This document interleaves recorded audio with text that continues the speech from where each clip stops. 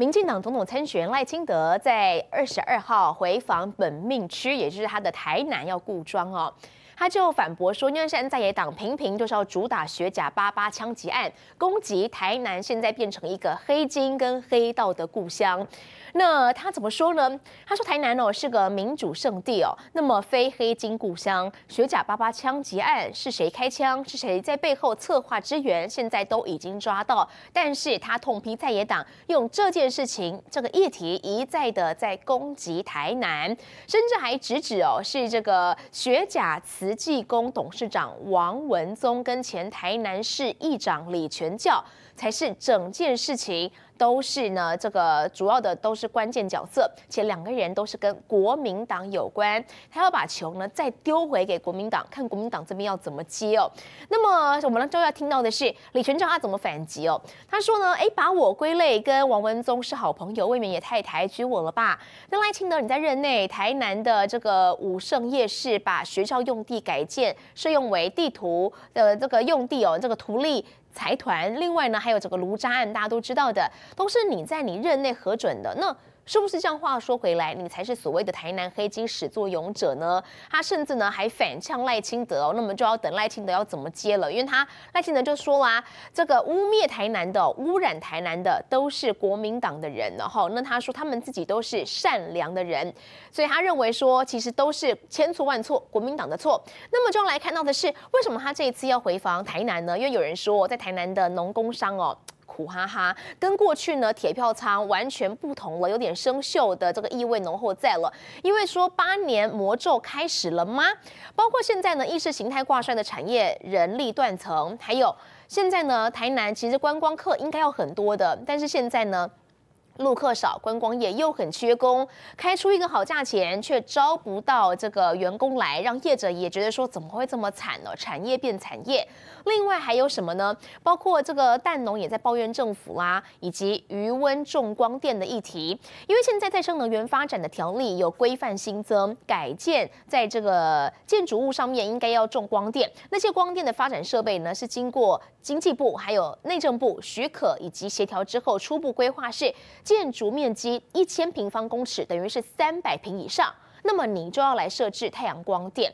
那这件事情，有些人是。不太买账的，有些人认为说你的主张我无法接受哦。但现在是已经再生能源发展条例修正草案三读通过了，现在的这个建筑面积只要是三百平以上哦，你都必须要种植太阳光电。但有些人不买单，那该怎么办呢？我们就来看到是这个侯友谊在二十一号在桃园举办的大造势，现场两万多人已经塞爆会场了。侯友谊就说台湾濒临战争的边缘，你要战争吗？你想和平吗？大家希望创造两岸和平的话，那么就要选。他当总统，那么柯文哲昨天呢，则是开讲，他就炮口对准了民进党大酸，恳求不要贪污就好，就这么一丁点的小要求，希望民进党可以做到。而外传侯友谊跟柯文哲在二十一号要再度碰面，二十二号柯文哲上午受访时，他没有否认这件事情哦，他只有说可能会两个人相互交换意见。侯友谊。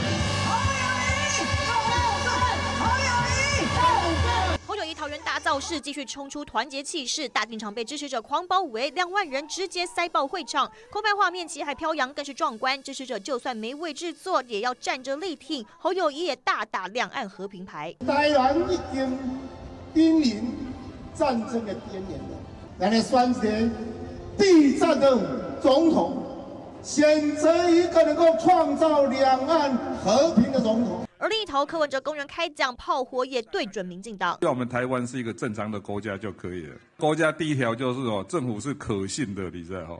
第二条是哦，司法是公平的。公布一话不？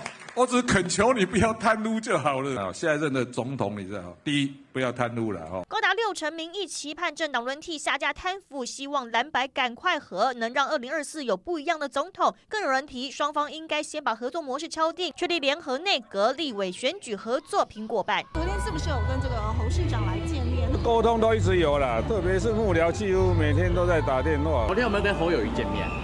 啊，这个哦，也没什么好了解啊，就聊天就聊天啊，难道一定要聊天要聊什么吗？总统候选人跟总统候选人的见面哦，我们不会主动的透露，但是我很确定的可以跟大家报告，前几天我才跟呃柯主席见面，党对党的协调这样一个协调的方式，我们都会不断的保持继续的沟通。怎么和外界都在看，面对两岸紧张情势，二零二四大选能否政党轮替、下架贪腐政权，恐怕才是现在最高民意。记者张根敏、李选，S N G 小组桃园、台北报道。好，我们来看到 A A T 的理事主席罗森伯格跟媒体座谈时有重申不支持台湾独立。那我们就要来看看国民党最新的记者会。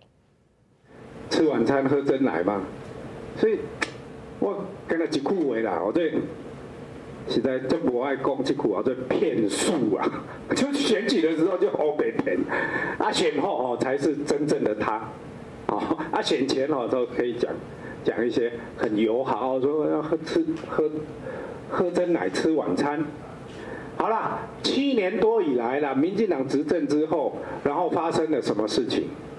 就两岸这一块来讲，当然发生了很多事情啊，农产品进不去啦，A 克法可能停啦，两岸没有中线了嘛，本来有默契有一条中线，现在不见了嘛，啊，这样子到底，当然民进党政府都把它推给对岸啊，对岸不友善，但是问题你有没有能力去交涉谈判嘛？这个不是你不能。发生事情都怪怪对手，你要有能力去处理交涉谈判。民进党没有这个能力。最近的这个选举，大家很关心。吴一丁委员刚刚讲了，要避战。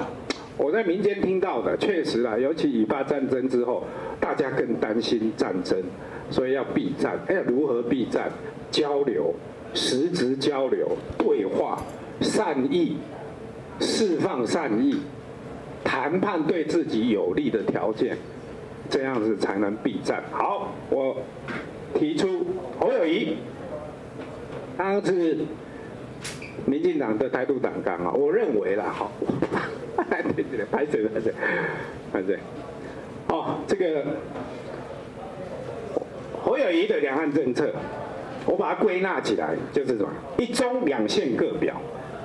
相互尊重，加强交流，求同存异。我称它叫新九二共识。那九二共识哦，是有一点被污名化。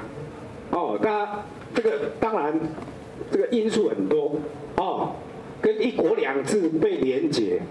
所以呢，我觉得这一次我们有重大，我觉得是一个重大的突破。这个是怎么开始的？就是今年五月份。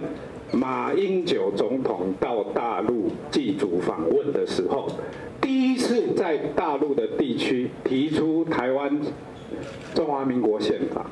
那你们对岸也有宪法，要互相尊重。以前我们都谈一中各表，那这一次要进一步，哦，因为也容易被误解。啊，一中大家都认为啊，就是中华人民共和国。呃，不对，这个讲得清楚一点，一中两线各表，这样就够清楚了吧？有两个线嘛，那意思是什么？有一个中华民国，有一个中华人。今天国民党开记者会痛批赖清德选前在骗票，而选后则是欺骗人。持续每行来掌握的是国防部长邱国正到立院被询，那么被问到立委马文君陷入前建国造的泄密案，强调整个案情已经走入了司法程序，完全要配合检调厘清调查，当然也希望世界和平落幕。我们再把时间交给嘉瑜。国最新内来关心立法院的最新情形，有关于前建国造的争议不断，到现在到底落幕了没？有关于国防部长邱国正呢，也对此回应说呢，其实针对马文君被指控泄密一事，马文君其实也一再的强调说自己是清白的，甚至上节目去澄清说呢，他会讲到韩国，其实国防部已经介入去调查了，他是没有问题的。而邱国正也是一再强调呢，希望能够和平落幕。我们来听他怎么说。没有我在想，这个案子已经走入这个减掉单位的查，啊，任何言论呢，我我们不再做任何一个辩解啊，或者说明，这样的话会把这个事情整个越搞啊越模糊。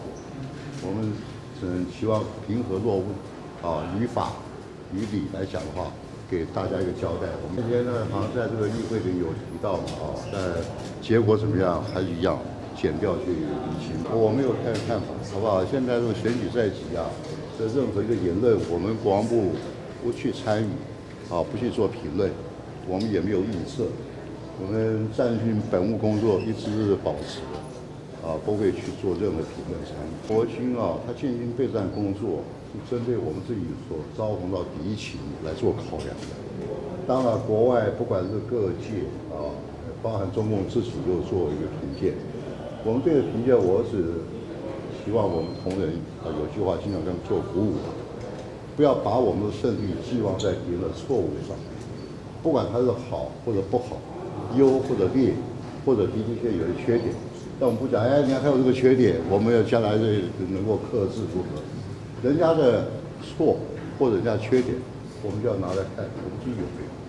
我想这样的话比较公允，而且我也曾经跟各位表达过，一个国家建军备战，不是看舆情或者看人家评论，这舆情怎么样哦，我们就可以缓个两年；舆情很急迫哦，我们赶快加强，这会乱套。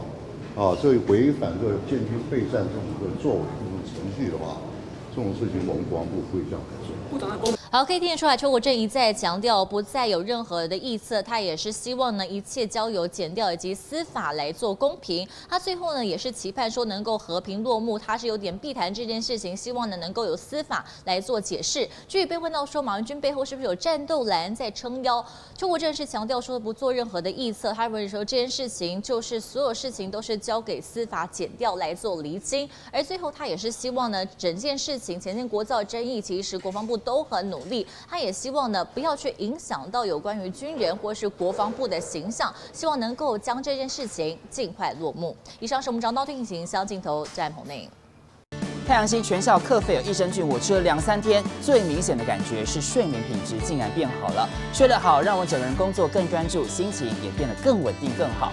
因为太阳星全校克菲尔益生菌，才让我认识到克菲尔益生菌，它是由多支菌种的益生菌所组合而成，不仅能够维护消化道机能正常运作，还拥有多种有益健康的保健功能，相当强大。